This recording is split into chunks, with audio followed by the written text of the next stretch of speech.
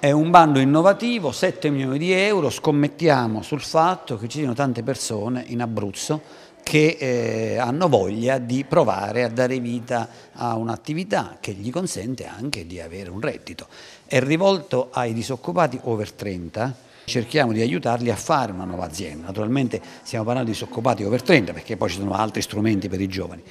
Ecco, eh, la cosa innovativa è che noi non ci limitiamo a dare dei soldi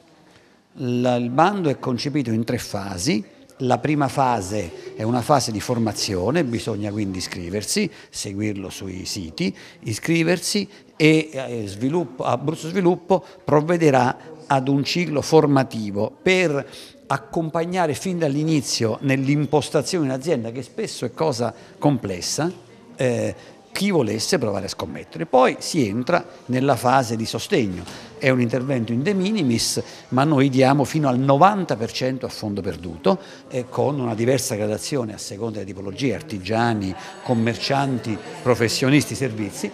eh, quindi è un un sostegno significativo con il quale è possibile rendicontare diverse attività, dalle spese notarili fino all'acquisto di macchinario, fino all'acquisto di software, eccetera, e poi c'è anche una terza fase, cioè la fase attraverso la quale Abruzzo Sviluppo successivamente per tutto il primo anno accompagna questa nuova attività, questa nuova impresa e le, la assiste per tutta la fase complessa eh, che è legata sempre a quel periodo critico che è il primo anno di attività di un'impresa in cui una persona che dà vita un'impresa oltre a dover fare l'attività d'impresa spesso eh, diciamo, si perde dietro ai meandri di una complessa burocrazia che in questo caso viene in gran parte eh, servita, agevolata e aiutata dal lavoro di Abruzzo Sviluppo. Quindi è una cosa seria, innovativa, sono 7 milioni, vale per tutta la regione, sono quote riservate per le aree più disagiate, ma tutti possono partecipare, io mi aspetto che la platea dei mille